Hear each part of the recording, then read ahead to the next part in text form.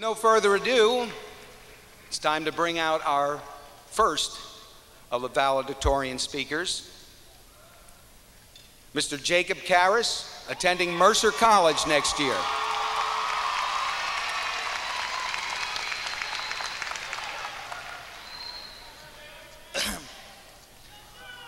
If I could just say a few words, I'd be a better public speaker. While we are here today at this time honored tradition that is graduation, we should all take time to thank people that help us get this far in life. First of all, I would like to thank my mother for always supporting me. She's behi- been behind me 100% of the way in all my pursuits in life. I would also like to thank my father for always being there for me, from coaching baseball teams and always having spent time with me. But besides thanking people, we should take this opportunity to reflect on the good and the bad, the beginnings and the endings. For life is a continuous cycle of beginnings and endings, starts and finishes. Cycles like ducks flying south every winter. You see, ducks fly south when they feel the rise in the barometric pressure. And pressure is something we all must overcome in life. It's like my father always said to me Hey, you, get out of the way of the TV. Oh, no, wrong quote. No, my father always said, pressure turns some things to dust, but it turns coal to diamonds. And we should all strive to be like coal in how we handle pressure, but not like coal in energy production. For as we speak, California is running low on energy, and they're forced to have blackouts. So we should look to supplement the coal power with solar energy.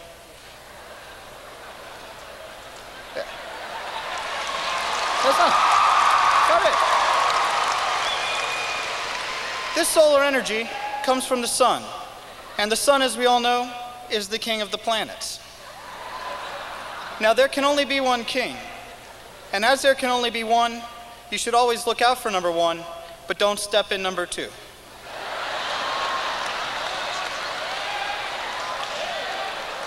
Speaking of number two, our second speaker tonight is Chris McCrae.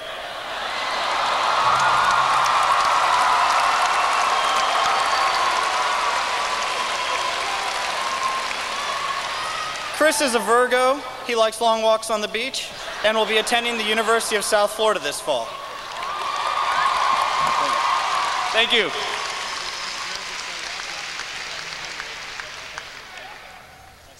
Out of the night that covers me, black as the pit from pole to pole, I thank whatever gods may be for my unconquerable soul. In the fell clutch of circumstance, I have not winced nor cried aloud. Under the bludgeonings of chance, my head is bloody, but unbowed. Beyond this place of wrath and tears looms but the horror of the shade. And yet, the menace of the years finds and shall find me unafraid. It matters not how straight the gate, how charged with punishment the scroll. I am the master of my fate. I am the captain of my soul. I'd like to dedicate this poem, Invictus, by William Ernest Henley, to the class of 2001, especially those last two lines. And I'd like to ask everybody here tonight to think about those two lines and what they mean and how they apply. Because they apply to everybody and to everything. Think about how they apply to you and to everything that you've ever done with your life and everything that you'll ever do with your life.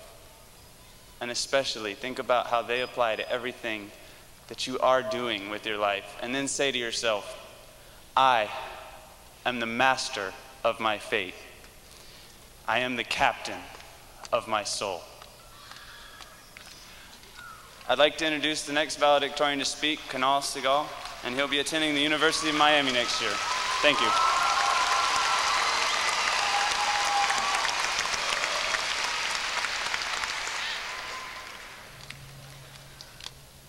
To be honest, I was pretty nervous about speaking at such a momentous occasion.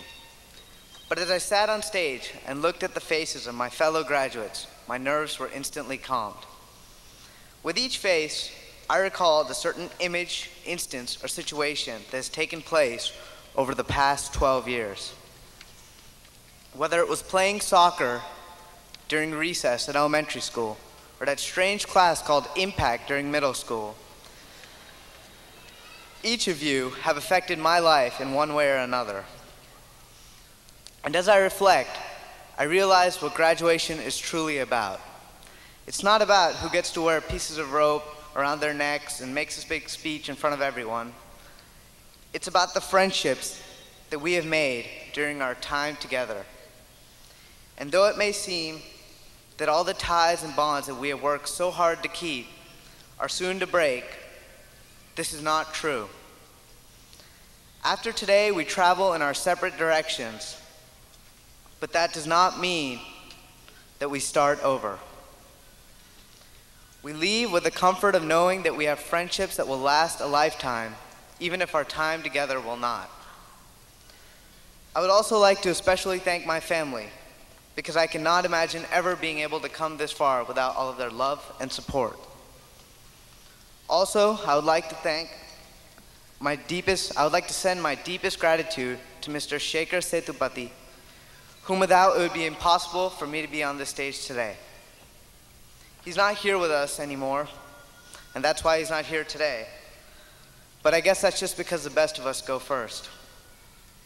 Just as I will never forget him for everything he has done for me, I will never forget any of you for all the memories that we share. Thank you.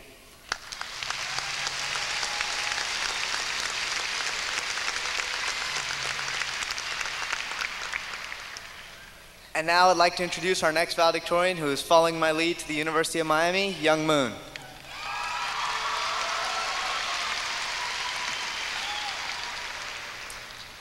I spent the last two weeks worrying about what I'd say tonight, and I put pressure on myself to write a speech that would be inspirational and be memorable for everyone. But after careful consideration, I decided that that was not important. I came to the conclusion that I should thank my family, friends, and the faculty that helped me reach my goals. They pushed me to work harder, they pushed me to work harder and become a better person. I also concluded that I spent the last four years working hard and making lifelong friends. We remember the things that we'll never be able to do again. We can't go back and relive meeting in the halls to talk to your friends, or even the senior prom. Today is the last day in which we truly feel like seniors in high school. We have reached a point in our lives where we must make a choice. This decision was easy for some, while others had to think long and hard. Most of us will go off to college, but some will go straight to work. But whatever path you take, there's nothing stopping you from reaching all your goals and making a difference in the world. So now, I'd like to leave you with these words by Robert Frost. Two roads diverged in a yellow wood, and I, I took the one less traveled by, and that has made all the difference.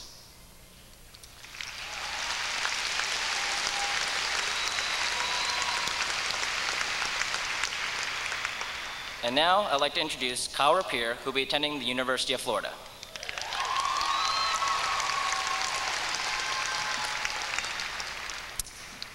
Well, we finally made it. This is the culmination of 12 years of blood, sweat, and tears. I know we've all looked forward to this day, and it's finally arrived. We have many people to thank to be thankful for for helping us get to this point. First of all, we should be thankful to our parents, without whose love and support we would not have arrived here. I know my parents spent many hours helping me with school projects, and I'm sure as yours did too. Our parents have guided us, loved us, nurtured us, and cared for us, and at times yelled at us to make sure we turn out to be caring, responsible adults. I think they've done a good job. We should also be thankful for all the great teachers we've had, both here at Dr. Phillips and throughout our whole education. Teachers have a hard job and are not always properly appreciated. So I'd like to thank all of them on, on behalf of the class of 2001. As this part of our lives ends and the next phase begins, it's a time to reflect on the great times we've had at Dr. Phillips, but to also look ahead. I'm excited about starting college and moving off. I know some of you may have different plans, but changes are in store for all of us. I think Dr. Phillips has prepared us well for the future. So look back with fond memories, but look ahead with great excitement as we look at the opportunities that await each and every one of us. And now I'd like to introduce Tori Haberkamp, who will be attending American University.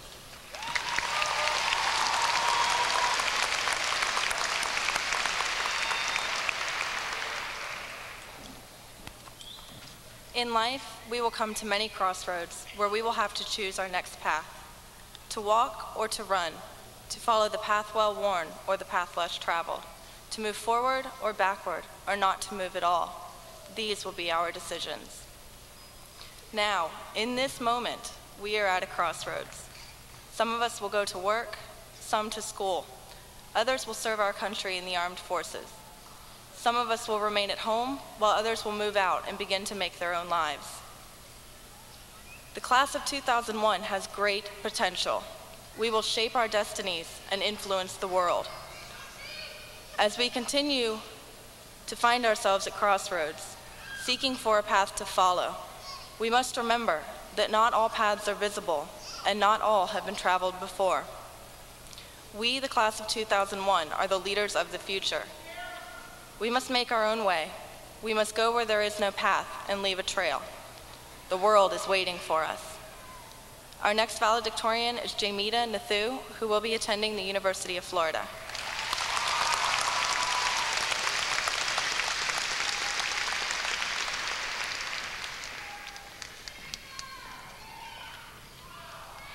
First and foremost, I would like to thank my dad, who has been my inspiration and my mom, whose infinite wisdom and support have seen me through some difficult times. They started me on the path to success, and I never would have come this far without their constant and unconditional love. Secondly, I would like to address the teachers. On behalf of our entire class, thank you. Thank you for leading us, teaching us, and building us up as adults. And finally, to my fellow graduates, as Winston Churchill said at the turning point of World War II, this is not the end. It is not even the beginning of the end, but it is perhaps the end of the beginning. Through the past 12 years, we overcame obstacles, we learned, we grew strong in faith, and matured in understanding. And now, after 12 years of friendships, experiences, memories, and education, we are embarking, we are embarking on a new journey in life to pursue our dreams and aspirations. This new journey will essentially offer us new worlds to discover and new dreams to explore. And since today, our graduation day marks the commencement of our new journey, I would like to end my speech with this final thought. Always shoot for the moon. Even if we miss, at least we'll land among the stars.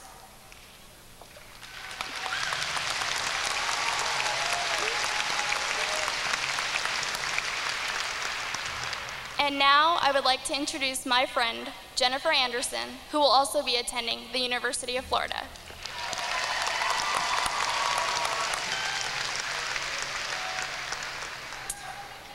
Last year, my best friend's mother was diagnosed with stage four ovarian cancer. No one was sure if she would be here tonight for her daughter's graduation, but she is. And I'd like to thank her because she has shown me and everyone that knows her how much, how you need to have faith in yourself, faith in God, and to make your days here on earth really count. Some of the seniors here, myself included, may not have embraced each day with excitement to face the challenges. But we have another chance as we start this new chapter in our lives. This poem summarizes what I have learned from my friend's mother and what I think all the graduates should consider. If there is ever a time to dare to make a difference, to embark on something worth doing, it is now. Not for any grand cause necessarily, but for something that tugs at your heart, something that's your dream. You owe it to yourself to make your days here count. Know, though, that things worth doing seldom come easy. There will be good days and there will be bad days. Persist, because with an idea, determination, and the right tools, you can do great things. Let your instincts, your intellect, and your heart guide you. The start of something new brings the hope of something great. Anything is possible. There is only one you, and you pass this way only once, so do it right. Now I'd like to introduce Sylvain Monsier, who will be attending Georgetown University.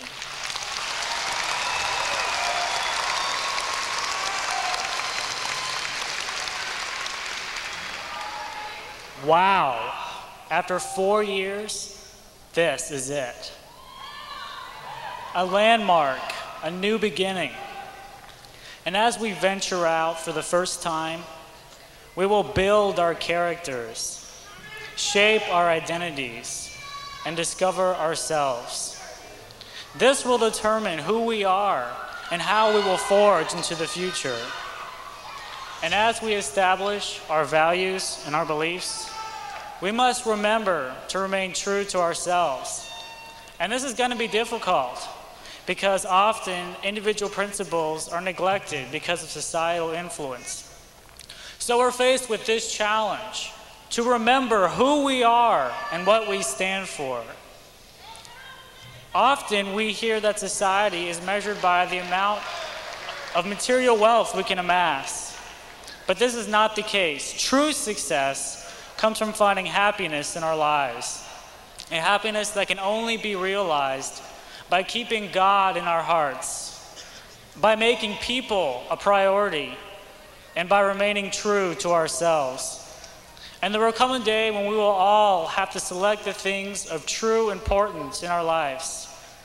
And in making these decisions, I hope we will remember this above all to thine own self be true. And now I'd like to introduce my good friend Diana Fry, who will be attending Brown University.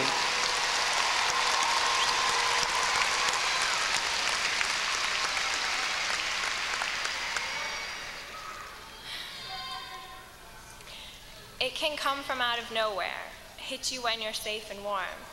Take it easy, my star. Your time is going to come. Your time is going to come. I chose this quote to begin my speech, not only because it comes from a song by my favorite band, but also because it truly expresses the sadness and hopefulness that are my feelings about graduation. I still can't believe that my four years at Dr. Phillips are over, and the idea that in a few short months I will be leaving my parents' house, my home, is mind-boggling. I owe so much to my family and my friends. They have been inconceivably supportive and have always made me feel safe and warm. When I think about not being able to see them every day, I start to question my decision to go away to school. And I get nervous that I won't make it without them right beside me. But then I remember that even though they won't be right next to me, they will always be behind me, supporting me. And I have to be brave and take hold of those opportunities they help place before me.